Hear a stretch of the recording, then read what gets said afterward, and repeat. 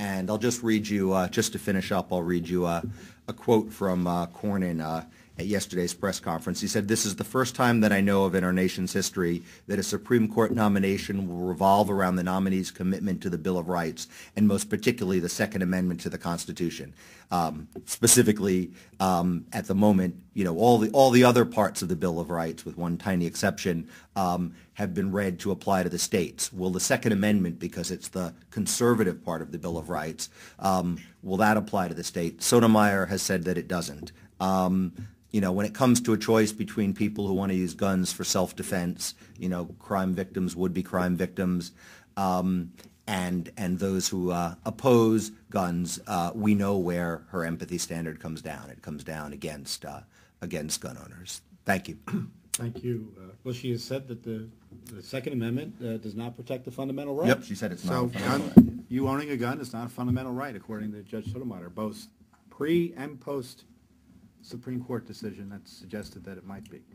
Uh, Roger Clegg, you know, you may have to leave early because the decision that we've been talking about, or the pending decision, Ricci, may come down in 20 minutes. Uh, So uh, please uh, forgive him uh, pre- presumptively if he has to leave, because obviously his organization and given his expertise on the issue, he's going to be needed uh, to respond on behalf of his organization the conservatives generally. But Roger, I give it to you. Thanks very much, and um, I appreciate your uh, your being so accommodating to my schedule. And uh, actually, I'm going to ask um, uh, one of our our summer workers, uh, Andrew, if uh, when it gets to be 10 o'clock, if you could go uh, check uh, in with uh, the office and ask them to let us know if the uh, if the New Haven decision comes down, and, and if so, give me a high sign, and I'll I'll scoot out of here. We got, we got, right out here, you mean the office out here at the, we got plenty of Blackberries. No, I mean uh, Someone else. the office at, at home. We- we're- All right, yeah. Right. okay. Um, I want to thank you, Tom, not only for being so accommodating to my schedule, but for the great work that you've that you've been doing uh, in the area of um, judicial confirmations, and of course that goes also for the fine work that uh, that Curt's doing and and that, that Manny's doing. You you all are really uh, uh, an impressive triumvirate, and I. I, I thank you on behalf of uh, not only the Center for Equal Opportunity, but for um, but on behalf of the American people for, for all the uh, important work you're doing. And I'm, I'm heartened uh, that this particular nomination is starting to um, develop the, uh, the grassroots opposition that I think is going to be necessary in order to defeat it. And I, uh, I, I think it's significant that last week uh, Senator Jeff Sessions, who's the ranking Republican on the Senate Judiciary Committee, said that he was looking forward to a, a teaching moment uh, during the, uh, the next few weeks on the role of uh, judges and also on the issue of affirmative action. And what I'm going to be talking about today, uh, in large part, is how those two issues come together. Uh, you know, it's it's very interesting. Uh, we we have something like uh, a perfect storm, I think, brewing. Uh, we we have a, um, a Supreme Court nominee uh, who apparently does not understand or appreciate the judicial role. Uh, it seems that her lack of understanding, in particular, involves issues of race and ethnicity and gender. Um, one of the decisions that are Exhibit A in, in, in why we should be concerned happens to be before the Supreme Court right now. Uh, it would have been a page one decision no matter what. Um, but now, on top of everything else, it's a decision that I think is likely to be reversed uh, that was written by a judge who's been nominated to join the Supreme Court. Uh, that case involves affirmative action, involves uh, racial preferences, an issue that is uh, extremely controversial, and the use of racial and ethnic preferences is extremely unpopular among Americans. Well, we've talked about uh, the abortion issue, we've talked about the Second Amendment. I would add uh, racial preferences uh, to that uh, as uh, one of the top legal issues that Americans feel very strongly about.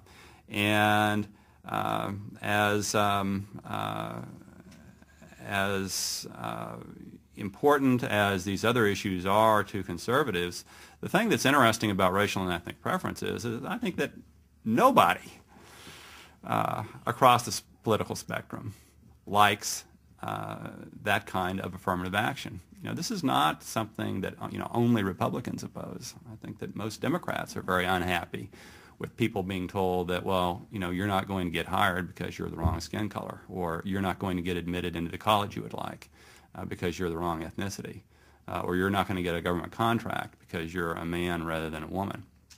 So these are extremely uh, im- important uh, and emotional issues, uh, issues where I think a lot of empathy is, uh, is involved. Um, I also think that it's significant that uh, we have uh, an African American president for the first time in our history.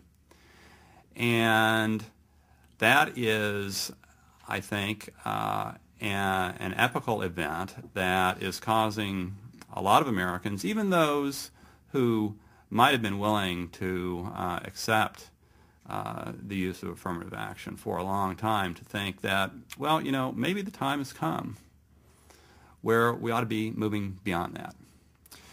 So we have all of these issues, you know, coming together in uh, what I think is going to be a very interesting way over the next uh, over the next few weeks uh, during Judge Sotomayor's, you know, confirmation hearings. Let me back up though for a second and and um, talk about the the first issue that Senator Sessions said he was looking forward to a teaching moment on, and that is the the role of a federal judge. When somebody's nominated to be uh, a Supreme Court justice, there are you know a number of qualifications that we that we look for, um, and Curt has um, you know touched on on uh, on a number of these. One of them is, is simply judicial temperament, and uh, I think Curt's right that there are some there are some red flags there. Um, Judge Bork, in an interview in, in Newsweek this week, uh, talked about Judge Sotomayor's reputation for bullying counsel, which is not something that is a hallmark of good judicial temperament. Uh, in addition, Kurt talked about um, uh, you know possible ethical issues that should be uh, explored by the Senate Judiciary Committee. Uh, he talked about the, uh, uh, the use of per curiam opinions. Uh, I would add to that, Curt, that in the um, initial ruling in the New Haven firefighters case, the panel was not even going to issue a per curiam opinion. It was going to dispose of the case, as I understand it, by summary order.